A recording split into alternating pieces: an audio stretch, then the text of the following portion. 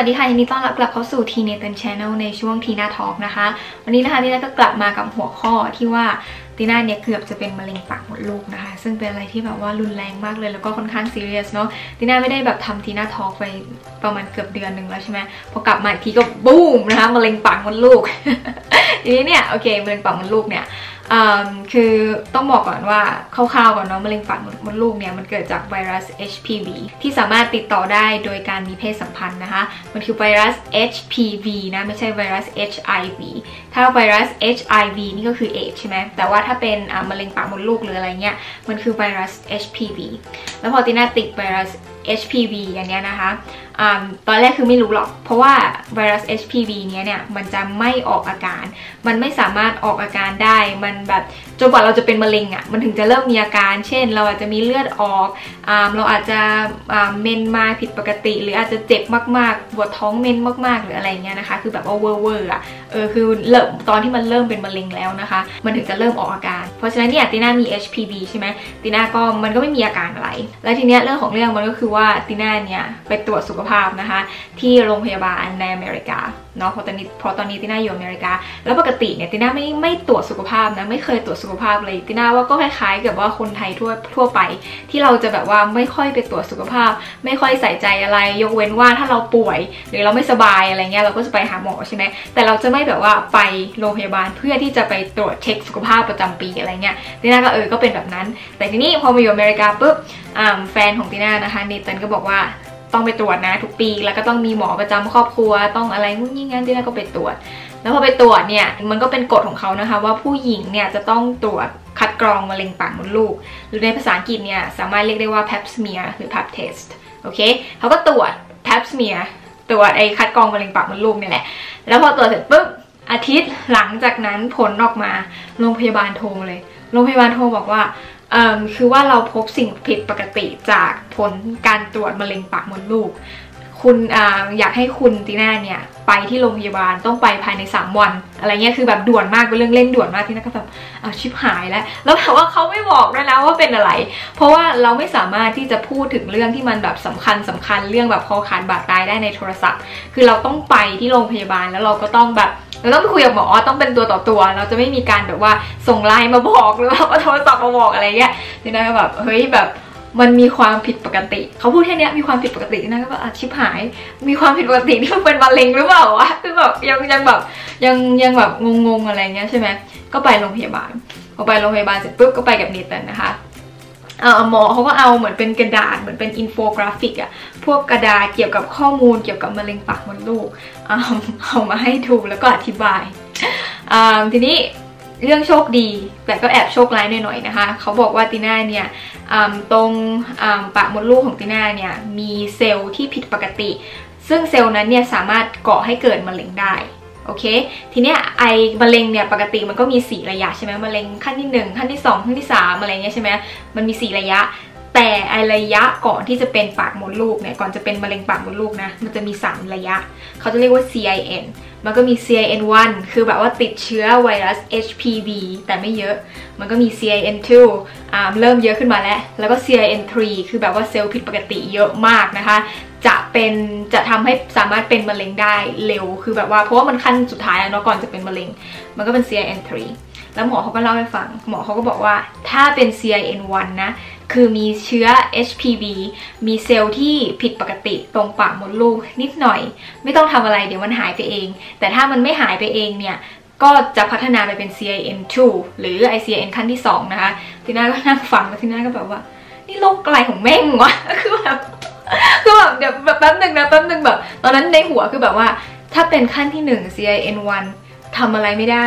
ถ้าร่างกายเราหายถ้าเราโชคดี มันก็จะหายไปเอง แล้วที่นั่นก็แบบ โรคอะไรของมันวะทำอะไรก็ไม่ได้ แล้วเราจะไปรู้ได้ยังไงว่าเราแข็งแรงหรือเปล่าเราจะไปรู้ได้ยังไงว่าแม่งหายหรือยังแล้วแบบอะไรของมันวะนี่คือแบบโรคที่แบบอะไรอะคือไม่เข้าใจอะแล้วก็แบบโอเคถ้า CAN1 ต้องรอ เดี๋ยวมันหายไปเอง หรือถ้ามันไม่หายไปเองเดี๋ยวมันก็จะพัฒนา เอา้าอะไรอย่างนี้ก็มีด้วย แล้วสิ่งที่ห่วยแตกมากไปกว่านี้นะไอเชื้อไวรัส HPV เนี่ยสามารถเป็นได้ทั้งผู้หญิง สามารถเป็นได้ทั้งผู้ชาย แต่ผู้ชายถ้ามีไวรัส HPV นะเราไม่สามารถรู้ได้เลยว่ามันมีเชื้อไวรัส HPV เราไม่มีทางรู้เลยนะคะ เทคโนโลยีตอนนี้นะคะ ยังไม่มีอะไรที่สามารถตรวจพบ HPV ในตัวผู้ชาย เพราะฉะนั้นเนี่ยบางคนคิดว่าอ๋อมีสัมเพศสัมพันธ์กับผู้ชายคนนี้เขาไปตรวจสุขภาพแล้วค่ะเขาไปตรวจเลือดแล้วค่ะเขาไปตรวจนู่นตรวจนี่แล้วค่ะเขาสะอาดค่ะ เขาไม่เป็นโรคค่ะ เราไม่มีทางรู้เลยว่ามันมี HPV หรือเปล่า ยกเว้นนะคะตีน่าเจอข้อมูลมาในอินเทอร์เน็ต ยกเว้นมันจะมีอยู่แค่ 2%เท่านั้นในผู้ชายที่จะมีอาการว่ามี HPV ก็คือมันอาจจะมีตุ่มมีอะไรอะไรเงี้ยตีน่าไม่ค่อยมั่นใจใน detail เท่าไหร่นะคะแต่มันมีแค่ 2%เท่านั้นอีก 98%นะผู้ชายเหล่านั้นมี HPV แต่มันไม่ออกอาการอะไรเลย คือมันมีอยู่ในตัวแค่นั้น เป็นพาหะแค่นั้น เข้าใจว่าแต่ผู้หญิงเนี่ยสามารถตรวจได้โดยการคัดกรองมะเร็งปากมดลูกโอเคพอตีน่าไปตรวจปุ๊บหมอก็บอกว่าตีน่าเป็น CIN3 CIN3 ก็คืออ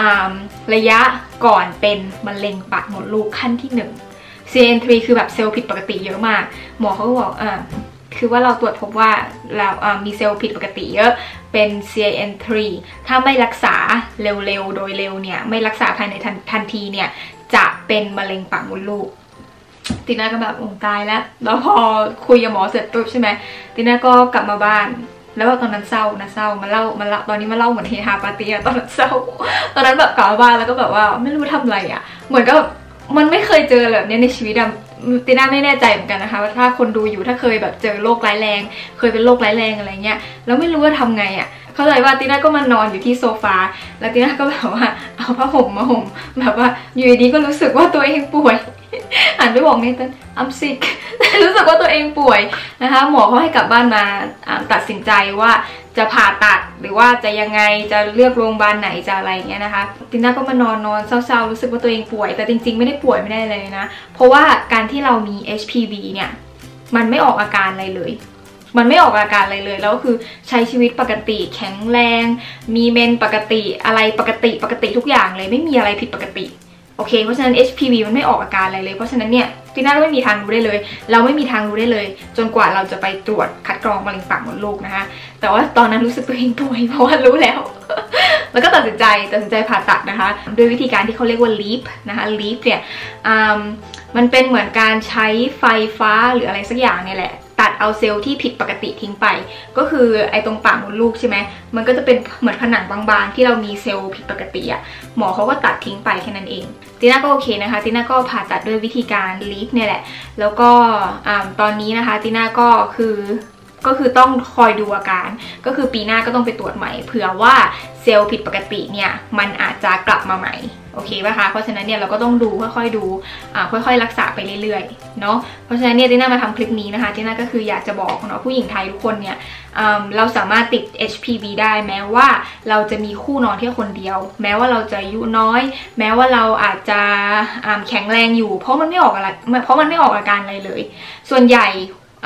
โรคนี้นะคะที่ออกอาการเนี่ยโรคมะเร็งปากมดลูก ก็คือตอนที่เป็นมะเร็งระยะที่ 3 ระยะที่ 4 แล้ว ก็คือตอนที่มันแบบมันแหลกมันแรงมากๆ แล้วมันลามไปหมดแล้วนะคะ ซึ่งพอถึงตอนนั้นเนี่ยมันก็เกือบจะสายไปแล้วโอเคป่ะคะอย่างของตีน่าเนี่ยมันยังไม่ใช่มะเร็งใช่ไหมเพราะฉะนั้นเนี่ยการวิธีการรักษาโดยการใช้ลีฟนะคะหมอบอกมานะคะก็คือส่วนใหญ่ 90%เนี่ยคนที่ได้รับวิธีการรักษาโดยการใช้ลีฟเนี่ยก็คือหาย ก็คือไม่เป็นมะเร็งเซลล์หายหมด HPV หายหมดหรืออะไรอย่างเงี้ยนะคะ หรือถ้าใครที่ยังไม่เคยมีเพศสัมพันธ์เลยเนี่ย เราสามารถไปรับวัคซีนได้ วัคซีนนะคะก็จะช่วยกันไวรัส HPV บางตัว ที่อาจจะก่อให้เกิดมะเร็งปากมดลูกได้ แต่ก็ไม่ได้แปลว่าเราจะไม่ต้องไปคัดกรองมะเร็งปากมดลูกนะ ถึงเราจะมีวัคซีนนะคะ เราก็ควรจะกันเอาไว้เนาะไปคัดกรองมะเร็งปากมดลูกนะคะ ทีนี้เนี่ยก็ได้สถิตินะคะที่น่าสนใจมากเลยของอีโลกแบบห่วยแตกบ้าพอคอแตกนี้เนาะ เขาบอกว่าในไทยนะคะที่น่าเจอมาจากเว็บไทยโพสต์นะคะเขาบอกในไทยเนี่ย 80%ของผู้หญิงในไทยนะคะ ที่มีเพศสัมพันธ์แล้วเนี่ย มี HPV แต่ว่าไม่รู้ตัว เพราะว่าไม่ไปตรวจไงมี HPV แต่ไม่แบบแต่ไม่รู้ตัวไม่ไปตรวจคิดว่าตัวเองแบบไม่เป็นไรหรือบางทีก็อายใช่ไหมผู้หญิงเราอาย จริง ๆ เวลาที่เราไปโรงพยาบาลนะติน่าเคยไปตรวจที่ไทยด้วยเออมีเรื่องเมาส์อีกเรื่องนึง ติน่าเคยไปตรวจที่ไทยติน่าไปตรวจที่ไทยเมื่อปี 2012 แล้วพอไปตรวจเนี่ยติน่าไปโรงพยาบาลเอกชน แล้วเขาก็ถามว่าจะตรวจกับหมอผู้หญิง หรือหมอผู้ชายอะแล้วก็เลือกได้เนาะเราอยากจะตรวจกับผู้หญิงผู้ชาย ถ้าเราเขินแล้วก็ตรวจกับผู้หญิงเนาะเอ่อพอติน่าไปตรวจใช่ไหมผลออกมาเขาบอกว่าตีน่าไม่มีเชื้อ HPV ไม่มีมะเร็งปากมดลูกไม่มีอะไรเลย แล้วตีน่าก็โอเคดีใจอะเราไม่มีมะเร็งปากมดลูกอะไรเงี้ยก็ดีใจนะคะแต่พอมาตรวจที่อเมริกาปุ๊บเขาบอกว่าเป็น CIN ขั้นที่ 3 ซึ่งเรางงมากเลยเพราะว่ามันใช้เวลานาน มันใช้เวลานานกว่าที่มันจะพัฒนาไปถึงขั้นที่ 3 ถูกปะทีน่าก็แบบอะไรของมัน เข้าใจอะแล้วนี่น่าก็เลยไปดูไป search ดูในอินเทอร์เน็ตนะคะไปหาข้อมูลเขาบอกว่าบางโรงพยาบาลเนี่ยมันก็ตรวจเจอนะบางโรงพยาบาลมันก็ตรวจไม่เจอ เพราะมันมีผู้หญิงหลายคนเหมือนกันเหมือนมาทำรีวิวอะไรเงี้ยว่าเขาไปตรวจโรงพยาบาลนี้ไม่เป็นไร แต่ตรวจโรงพยาบาลนี้กลับเจอซะงั้นอะไรเงี้ยมันก็มีความเป็นไปได้เหมือนกัน แต่ตีน่าไม่ได้บอกว่าโรงพยาบาลที่ไทยไม่ดีนะเราก็เลือกดูโรงพยาบาลเนาะไม่งั้นก็ไปหลายๆโรงพยาบาลก็ได้ถ้าใครงบเยอะนะคะ ก็แล้วแต่เนาะ80%ของผู้หญิงทั่วไปไม่รู้ตัวว่าตัวเองมีเชื้อ HPV แล้วว่าผู้หญิงไทยเนี่ยตายด้วยมะเร็งปากมดลูก ปีละ 2,200 คนต่อปี 2,200 คนเยอะนะ แล้วเขาก็บอกว่าตอนนี้เป็นอันดับ 2อของโรคมะเร็งนะคะ ที่ทำให้ผู้หญิงที่ทำให้ผู้หญิงตาย อันดับหนึ่งเนี่ยคือมะเร็งเต้านม อันดับ 2 คือมะเร็งปากมดลูก แล้วมันเคยเป็นอันดับหนึ่งนะมะเร็งปากมดลูกเคยเป็นอันดับหนึ่งนะ แต่เหมือนคนเริ่มรู้เกี่ยวกับโรคนี้มากยิ่งขึ้น คนเริ่มที่จะออกมาตรวจมะเร็งมะเร็งปากมดลูกมากยิ่งขึ้นนะคะ มันก็เลยป้องกันได้ดีขึ้นก็ตอนนี้ก็เลยเป็นอันดับที่ 2 รองมาจากมะเร็งเต้านมนะคะ ผู้หญิงเราเนี่ยผู้หญิงไทยนะ ตายประมาณ 6 คนต่อวันจากมะเร็งปากมดลูก 6 คนต่อวันนะเยอะนะ คิดดูว่าถ้าเป็นญาติเราหรือว่าถ้าเราเป็นหนึ่งในนั้นน่ะ เข้าใจปะแบบเนาะแล้วก็เขาบอกว่าเวลาที่เวลาที่ผู้หญิงเราเนี่ยไปตรวจมะเร็งปากมดลูกนะ เจอมะเร็งปากมดลูก 18 คนต่อวัน เจอมะเร็งปากมดลูก 18 คนต่อวัน ตาย 6 คนต่อวัน 2,200 คนต่อปี ทั้งทั้งที่โรคนี้เนี่ยสามารถรักษาได้ง่ายมาก สามารถป้องกันได้ง่ายมาก ถ้าเรารู้ตั้งแต่เนิ่นๆนะคะ อย่างของตีน่าเนี่ย CAN3 ใช่ไหม ถึงว่ามันจะเป็นระยะที่แบบใกล้จะเป็นมะเร็งแล้ว แต่พอตีน่ารู้ปุ๊บอะใช้ผ่าตัดเสร็จแค่นั้นจบ ไม่ต้องเสี่ยงเป็นมะเร็งโอเค ก็แค่ต้องไปตรวจบ่อยขึ้นเผื่อเผื่อไว้นะคะ แต่ถ้าสมมติว่าตีน่าไม่ไปตรวจเลยตีน่าถ้าตีน่าคิดนะ ถ้าตีน่าไม่ไปตรวจเลยนะ ไม่ตรวจสุขภาพไม่ตรวจคัดกรองมะเร็งปากมดลูกนะ มันมีโอกาสสูงมากเลยว่าตีน่าจะตายภายใน 5 ปี อันนี้พูดจริง ๆ เลยคือตีน่าจะต้องตายภายใน 5 ปีไม่จะร้องไห้คลิปนี้เราดูเสียแล้วดูเศร้านะเพราะว่ามันมีตั้งหลายอย่างอะที่ยังแบบไม่เคยทำมีตั้งหลายอย่างที่อยากทำเรามีแพลนนู่นนั่นเต็มไปหมดเลย แต่ถ้าเราไม่ไปตรวจแค่นั้นน่ะถ้าเราไม่ไปตรวจวันนี้พรุ่งนี้เราไม่ไปตรวจตอนนี้ เราไม่ไปตรวจให้เร็วกว่านี้ ทั้งๆที่มันสามารถป้องกันได้อะตีน่าอาจจะมีเวลาเหลือ อยู่แค่ 5 ปีเท่านั้นเอง แล้ว 5 ปีนะ ติน่ายังอายุไม่ถึง 35 เลยอะติน่าต้องตายแบบอนาถตายแบบอายุก็อายุน้อยแล้วแบบจะมันไม่ได้อะเข้าใจป่ะมันแบบมันเศร้าอะแล้วก็มีแบบผู้หญิงไทยหลายคนเลยที่เป็นแบบนี้ที่น่าเชื่อนะคะ แต่ว่ามันเศร้ามากเลยพอเรามาแบบคิดแบบนี้ทั้งที่มันแบบป้องกันง่ายมากเลยเนาะ แล้วแบบโอเค เดี๋ยวอ่านต่อดีกว่า เขาบอกว่ามะเร็งเนี้ยเนี่ย ใช้เวลา 5-10 ปีในการเติบโตก่อนก่อนที่จะเป็นมะเร็งนะคะ เรามีเชื้อ HPV ประมาณ 5-10 ปี มันก็จะกลายเป็นมะเร็ง เพราะฉะนั้นมันแปลว่าอะไร แปลว่าเรามีเวลาไปตรวจเยอะมาก เรามีเวลาป้องกันเยอะมาก แต่เพราะเราไม่ไปตรวจ เราไม่ไปป้องกันนะคะ มันก็เลยทำให้เป็นมะเร็งลุกลามเนาะ แล้วหมอที่ไทยนะคะเขาก็แนะนำให้ไปตรวจทุก 5 ปีเท่านั้นเองนะคะ แล้วก็ตีน่าออกมาพูดตรงนี้นะคะ เพราะว่าตีน่าลองหาข้อมูลในไทยที่เป็นภาษาไทยนะ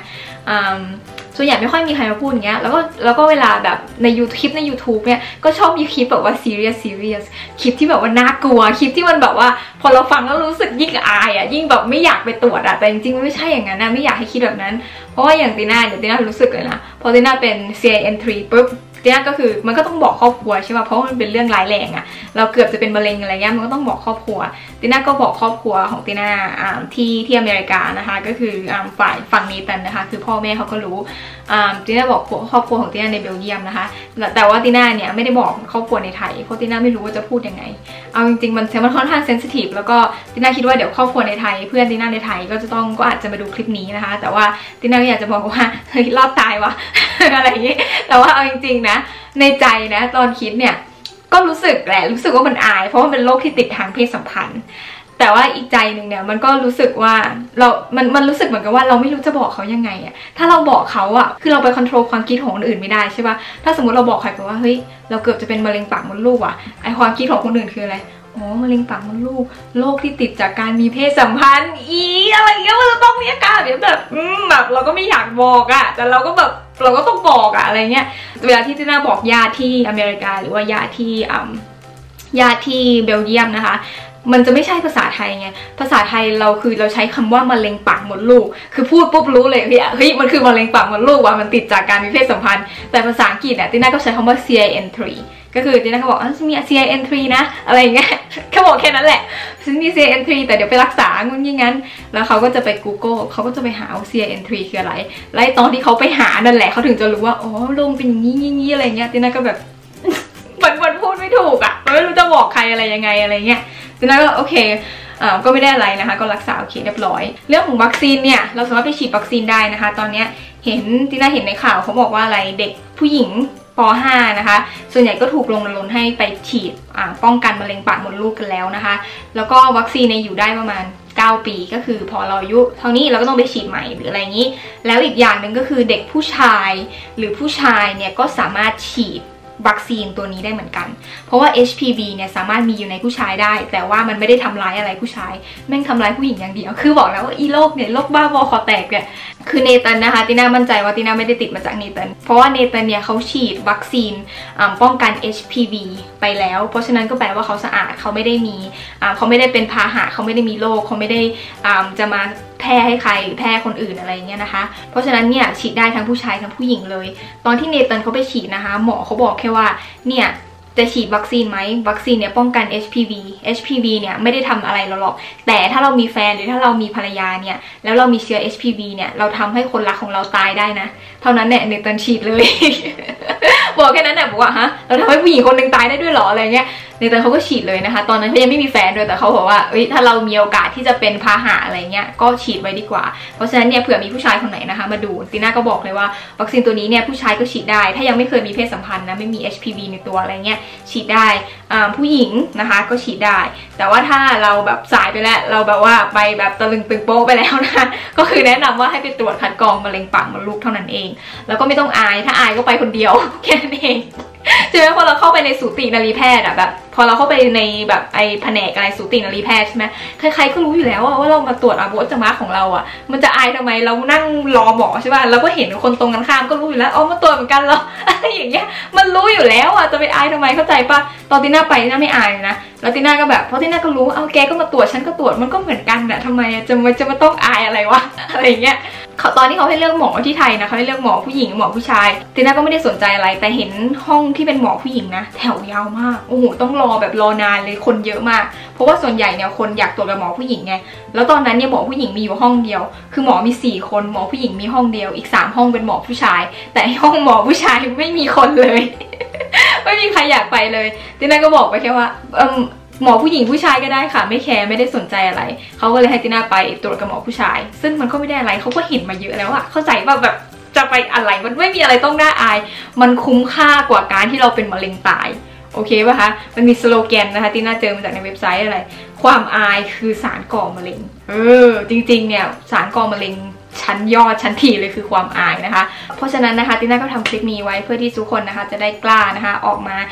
ตรวจคัดกรองมะเร็งปากมดลูกนะคะ เราไม่รู้ว่าเรามี HPV หรือเปล่า แต่ถ้าเรามี HPV เนี่ยก็คือเรามีโอกาสหาย มีโอกาสที่จะไม่ต้องเป็นมะเร็งปากมดลูกเยอะมากๆ มันป้องกันง่ายนะคะ แต่ว่าถ้าเมื่อไหร่ที่มันลุกลามแล้วเนี่ยมันจะทำให้ยากนะคะต่อการรักษา แล้วก็ตีน่านะคะเพิ่งทำ audiobook เป็น audiobook สำหรับช่วง Tina Talk นะคะชื่อว่าคำสารภาพของคนอกหัก 30 ครั้งนะคะ ซึ่งเรื่องนี้นะคะจริงๆก็เป็นส่วนหนึ่งของ audiobook นี้เหมือนกัน ก็คือติน่าก็จะมาเล่าเรื่องอประสบการณ์ของติน่า แล้วก็บอกถึงเทคนิคความรักต่างๆหรืออะไรเงี้ยนะคะทำยังไงจะได้ไม่อกหักอ่าติน่าการันตีเลยนะหน้าปกเขียนเลยนะฟังแล้วเลิกอกหักตลอดชีวิต โอ้ my god นะคะ บทเรียนจากผู้ชายแย่ๆ ที่ทำให้รู้ว่ารักแท้เป็นยังไง อ่า ยังไงนะคะ ถ้าใครอยากได้เนี่ยสามารถ add ไลน์มาได้นะคะ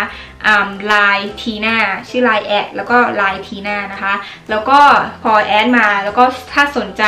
ออยากได้ข้อมูล อยากดูหลังปกว่าสารบัญเป็นยังไงเกี่ยวกับอะไรนะคะ ทักมาบอกแอดมินนะคะ ว่าอยากรู้ข้อมูลของอหนังสือเสียงคำสารภาพของคนอกหัก 30 ครั้งนะคะ เป็นซีดี2แผ่น แผ่นละประมาณ 73 นาที โอเคไหมคะ เป็นซีดี2แผ่น แผ่นละประมาณ 73 นาที แล้วก็ตอนนี้ยังไม่มีแบบที่เป็นแบบดิจิตอลนะคะ ยังไม่มีแบบออนไลน์ที่เป็นไฟล์อะไรเงี้ยนะคะ เดี๋ยวถ้ามีเมื่อไหร่นะคะตีน่าจะบอกตีน่าจะมาอัปเดตนะคะ ถ้าใครอยากได้แบบดาวน์โหลดเป็นไฟล์อยากฟังผ่านแอปหรืออะไรเงี้ยนะคะ add ไลน์ไว้ก่อนก็ได้ค่ะไลน์แอดไลน์ทีน่านะคะ ก็จะได้รับข้อมูลข่าวสารนะคะ ทางนั้นแล้วก็แต่ว่าถ้าใครอยากได้หนังสือเสียงอันนี้นะคะ ก็สามารถสั่งมาได้ถ้าใครมีซีดีมีเครื่องเล่นตอนนี้นะคะ สามารถติดต่อมาถามรายละเอียดได้นะคะสำหรับวันนี้นะคะตีน่าต้องลาไปก่อนตีน่าก็็หวังว่าทุกคนเนี่ยจะกล้านะคะ ออกไปตรวจคัดกรองมะเร็งปากมดลูกไม่ต้องอายไม่ต้องเขินนะคะสำหรับวันนี้ตีน่าต้องลาไปก่อนค่ะ ถ้าใครชอบคลิปนี้นะคะอย่าลืมกดไลค์แล้วก็ subscribe ที่ทีในเ n Channel นะคะ แล้วก็สามารถไปติดตามตีน่าที่ Facebook แล้วก็ Instagram ด้วยค่ะสำหรับวันนี้ตีน่าต้องลาไปก่อนค่ะ สวัสดีค่ะ